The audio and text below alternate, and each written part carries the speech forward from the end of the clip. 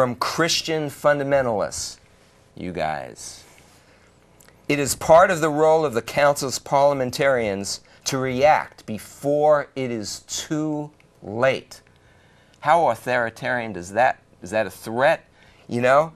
Um, and they say you've got to separate religion from science, and that's what they're trying to do here with some legal action and other things.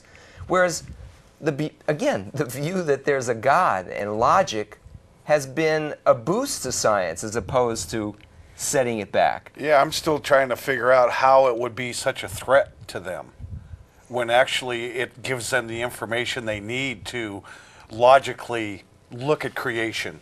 I think I have a response to that. I, I really believe, since we're talking about showing film the last few weeks on the different Hindu groups and meditation being an accepted way to, to reach God and bring all sorts of people together, the Roman Catholic Church has been uh, promoting meditation for many years. Thomas Merton, Teilhard de Chardin, Henri Nouwen, some of the famous writers, many others, and they are now promoting it heavily under the Pope. We can get statements from popes promoting meditation. And we've talked about altered states of consciousness. I used to be into that. And to me, it's very clear that altered states of consciousness that the Bible warns against do not be charmed. You know, in the Old Testament, charmers, uh, uh, chanting and into, into seances and hearing from spirits, that it opens you up to demonic activity. And we hear it, we've shown film on some of the top um, rock and roll musicians.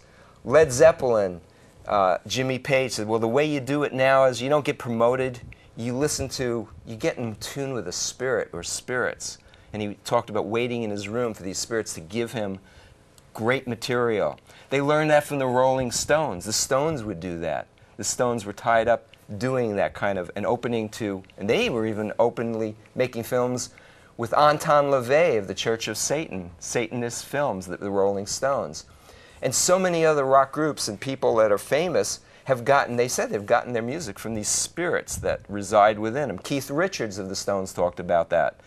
Um, Carlos Santana, and it goes on and on through many, many famous rock and roll people, and especially today with this promotion of 666 and rock music. We've talked about that. It's, it's hitting society on all sides, altered states of consciousness, meditate, become one with the cosmic consciousness. And I think that's where, to answer that question, that's where these guys are headed. They want the society, because Satan wants everybody to be, I really believe, demonized. Instead of having the Spirit of God in them, which happens when you're born again, the Spirit of Christ comes to dwell within you. Satan has always been jealous, wants to be as God, as the Bible says. Right in the garden, garden, he said to, to Eve, you know, you be as God if you do this. He, and the Bible says he, he wrestled against God to be as God. And that's why he was demoted, if you will. And, uh, and that's what he wants. So the, the threat then is a, a spiritual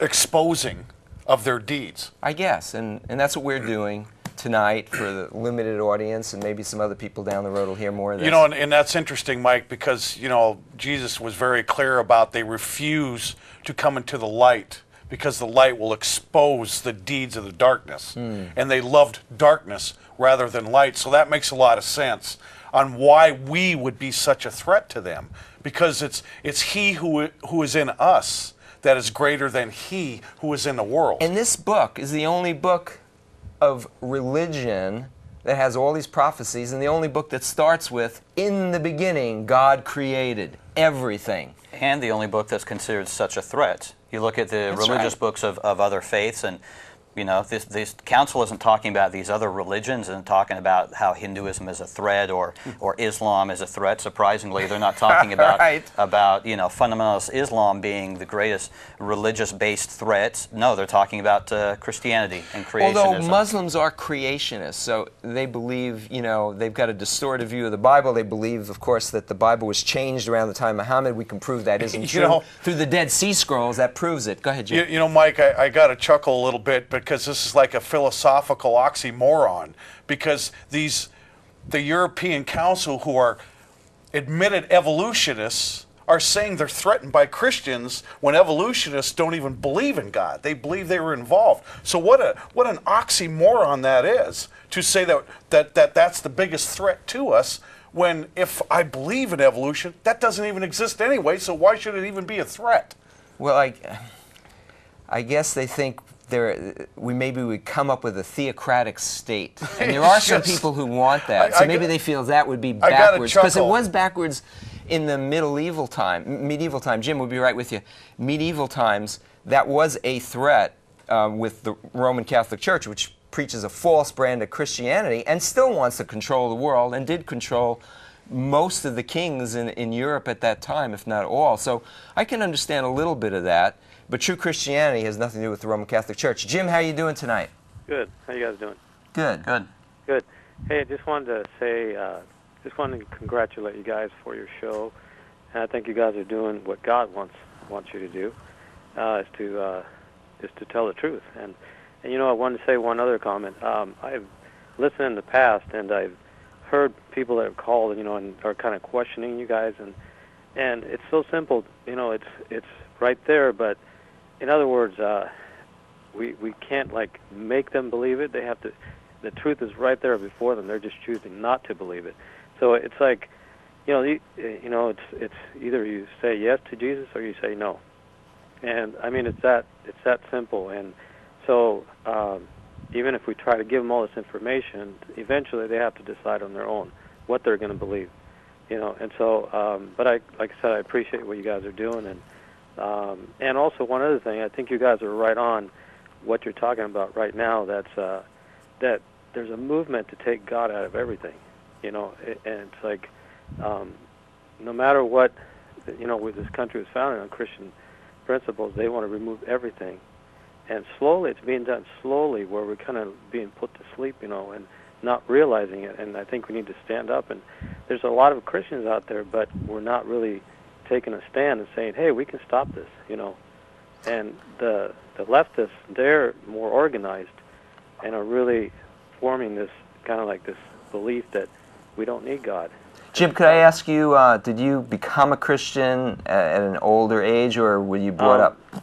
Well, around high school age, and I've I've had like you know ups and downs, but I would say in the last five years or so, I'm that's you know I want to go, you know, do put it put it in His hands, you know, let Him be in control of my life. Good for you. Well, Jim, how do you know that Jesus is the only way? Well, it says it in the Bible, and I believe the Bible. It's you know he it's he it's it's known to me. I mean, by it's like it says, the truth is put in your heart. It's like I it it's pretty obvious. I mean, and what he's given, what he has to offer, nobody can offer that. Um, he says, "I am the way, the truth, and the life." No, not there is a way, but I am the way and the truth and the life. And anyway, I, I believe the Bible is true. There's no Yeah, and that's a promise. God says, if you shall seek me with all your heart, uh, you shall find me. And so, you know, it becomes obvious. God opens up your mind if you're really seeking with all your heart for truth. Jim, thanks for calling. We've got uh, Hey, another. Jim. you guys. God bless you. Thank You you. Jim. Take care. Good evening, Barrett. How are you doing? Yeah, good. How are you? I'm good. Um, I've got two comments, and then I'll probably take it off the air. Um, okay, you you believe in creation in the sense of that um, God created everything in the universe or the cosmos out of nothing. Is that what you're? What like six thousand years ago? What does it say in the Bible?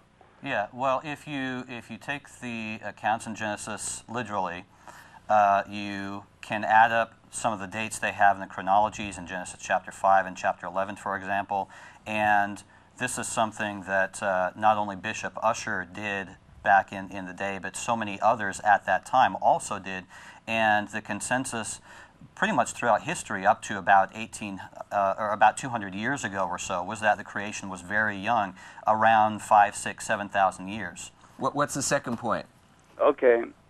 well, I don't agree with creation in that sense that that the universe was empty of space and empty of matter, empty of time, empty of everything. Basically, there's nothing. There's nothing to even not be. I mean, nothing.